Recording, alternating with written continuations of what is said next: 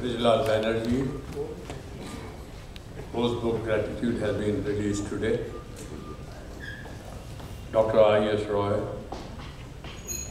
Sri Anilji, Sri Aniruddhaji, Sri Monindranath Roy ji, Swami Shastrajananji, distinguished invitees, ladies and gentlemen.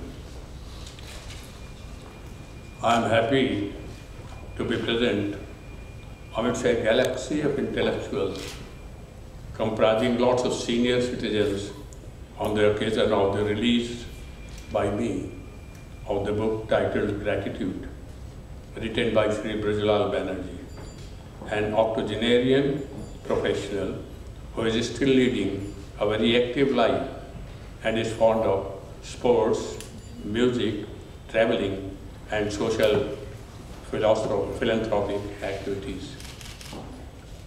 Books, in other words, writings, have been the age-old means to communicate the thoughts, ideas, messages, etc. to the society for advancement of civilization in a rather slow pace.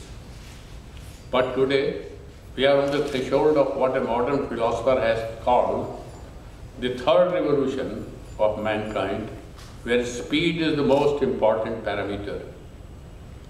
Symbolized by a spaceship, this era has grown out of an extraordinary stage or surge rather of scientific intelligence and technological ingenuity.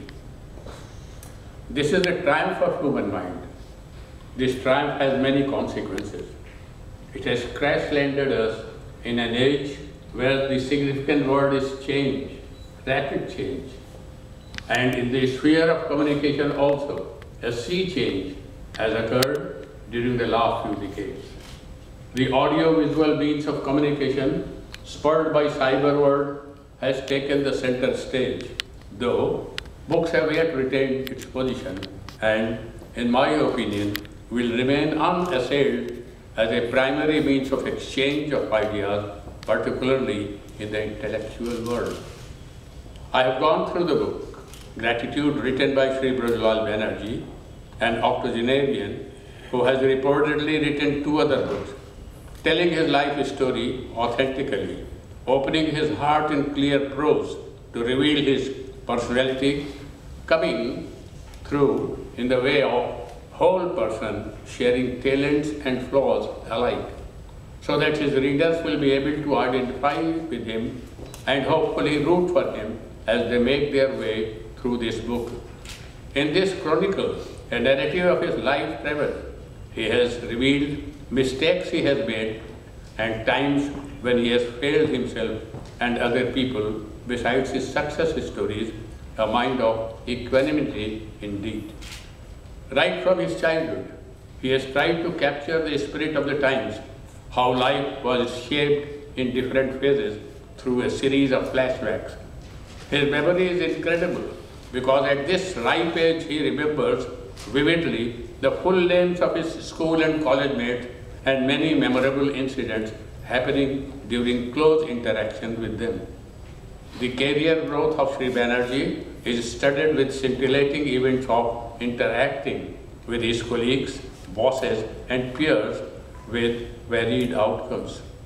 His grooming in Belur Vidya Mandir of Ramakrishna Mission has helped him develop an inner urge to adhere to the guiding principles enunciated by Swami Vivekananda, the great visionary. The monastic order of Sri Ramakrishna Mission has greatly influenced him and he is closely associated with many activities of the mission. He presents many devotional songs even today at this age in various fora of RK Mission for sublimation of life with the help of monks therein.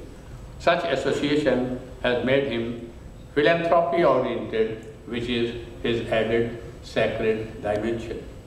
In this book, he has given a colorful spectrum of his friends and colleagues of his various professional life their lives tied at him, relaying his feelings of loss and joy, and also the wisdom he has gained from them. He has gratefully acknowledged their contribution to his career growth and has expressed his gratitude to them for which He has rightly given the title of this book, Gratitude. The travelogues on his visits to various countries of the world are added attractions of this book.